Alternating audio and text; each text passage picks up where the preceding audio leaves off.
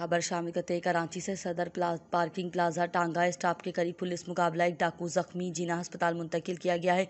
जख्मी होने वाले डाकू की शनाख्त मोहम्मद आसिफ वल्द खुदा बख्श उम्र सत्ताईस साल मीज़ान न्यूज़ से जाना मजई की